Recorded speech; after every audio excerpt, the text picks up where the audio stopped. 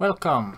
So in this tutorial I will show you how you can make an explosion effect like this. Yeah, okay, let's get started. I have uh, imported some sprites here to make a animation. So I will uh, share this in the description if you like to download this or if you have a much better looking explosion animation you can use yours but I will start with this. So I will create an empty game object. I'll drag each of this in here.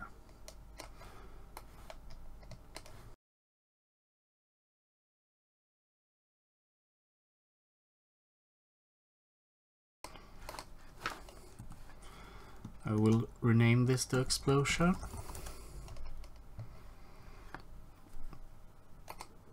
go to animation. Great. make a new folder here. Animations. Explosions. Okay. So press the record button here. Select this one. Hit that. Take next frame. I will click on this and hide this. And I will go on like this. Show this hide this. Next frame. Show this hide this and so on.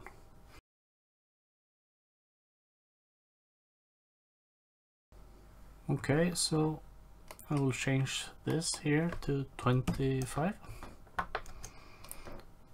and uh, we can look at it. I think this is fine. We can go to project animations explosions and uh, deselect the loop type. Then we need a script for this. So a new script lifetime.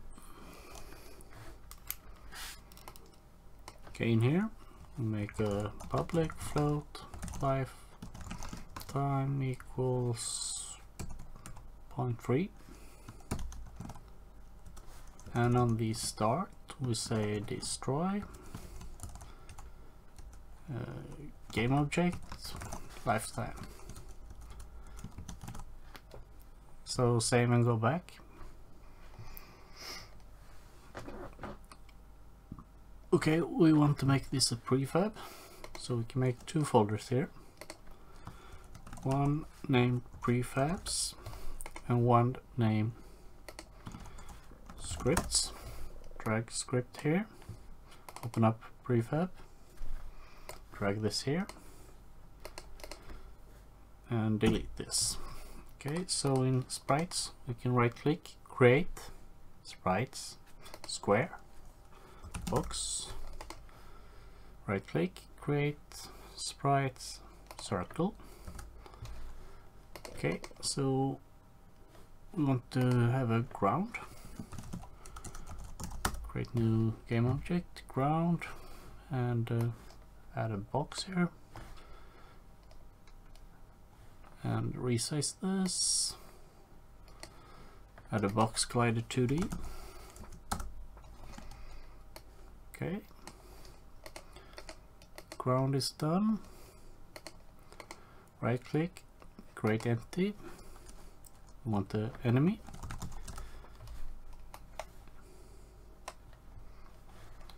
And drag this here. Can make this red. And reset and like that. Okay and uh, we also want the bomb. So right click create empty. Reset rename bomb. Okay so now we need to give this rigid box collider. Check if it's not here so if we reset this box and box yeah now we have the box collider in the right place. So we add a rigid body. We can drag this down. Okay. We'll select the bomb, make a... Oh, we need a sprite.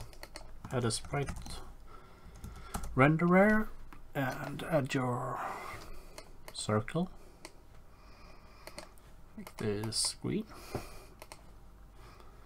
And a circle collider 2D. Yeah, that's right. Drag this down here and um, let's see we want a rigid body okay so now we have the bomb the enemy the ground. We can make a script. We call this bomb. New script. Create and add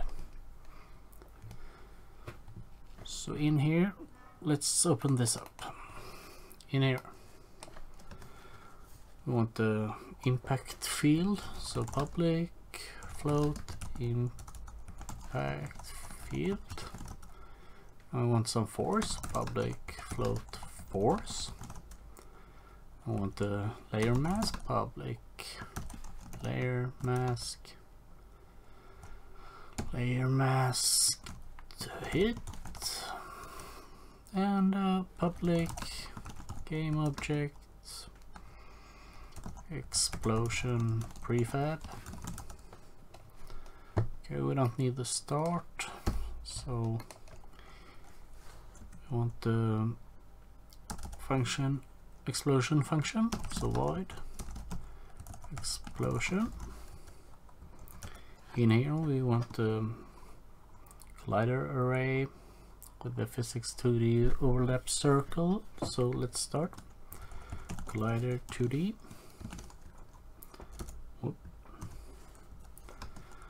We call this objects and uh, physics 2D dot overlap circle all. There. And the point is transform dot position. Then we want the radius so we can say impact field. And then we want uh, layer mask so what did we call this lm to hit nice.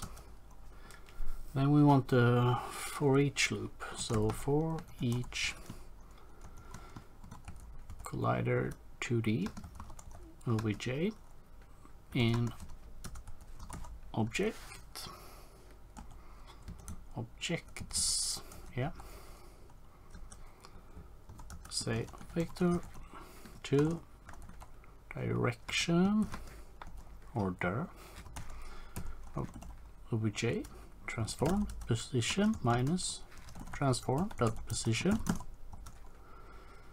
Then we want to get the object's rigid body so obj dot get component rigid body 2d and we want to add some force there. So add force the direction times force.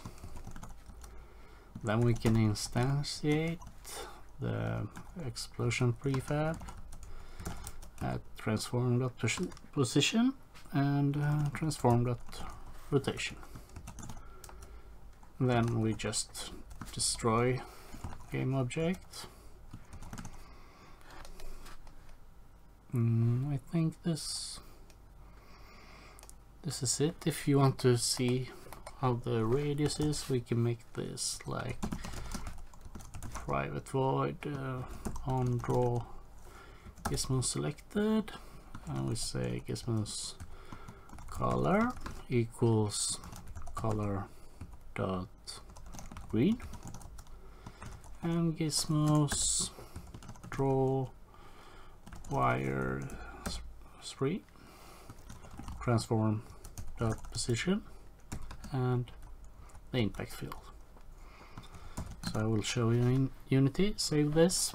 Okay, so back here in Unity, we will select the enemy. You will go up to layer here and add layer. You can call this whatever you want. I will call this enemies and then go select your enemy again layer enemies yes okay so if you go to your bomb here you can choose the layers that uh, the bomb will affect. So you choose enemies here. Then we have the explosion prefab. And um, in prefabs here you can just drag this over here. And now the force I don't know maybe 150 for now. Impact field. You can see on your scene view here how much you want it, you want it to blow up. And we can take oh. Oh. Three maybe. Okay so when this is done we can make some more enemies here I just uh, select it and uh, press Ctrl D or you can or you can just select this and uh, right click duplicate. So we can yeah I think this is okay. One more thing we need to do is to go to your script again. And in the update we need to have the explosion here. Mm, and we want uh, to test this out so I will say if input dot get mouse button zero so this is the left mouse button and we want the explosion to happen. Yeah. Now we can test this out. Okay. Yeah. One more thing I think. If you want your impact field maybe 4 and um, 250 here I think the animation for the explosion was too small so I go to the prefab and open it. Say 3 and 3 okay?